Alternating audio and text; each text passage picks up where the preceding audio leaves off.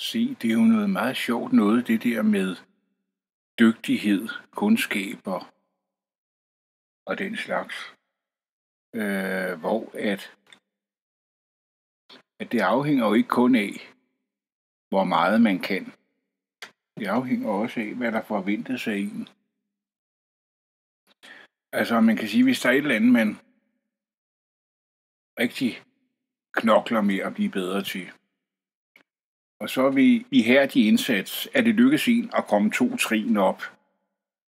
Hvis så, øh, at forventningerne til en i mellemtiden er steget fem trin, så selvom man er kommet de her to trin op, så er man jo faktisk blevet forholdsmæssigt dårligere.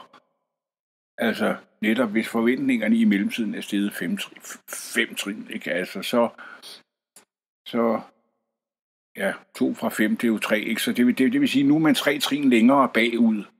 Så øh, selvom man er gået frem, så er man altså kommet endnu længere bagud. Man er tre trin længere bagud, end man var før.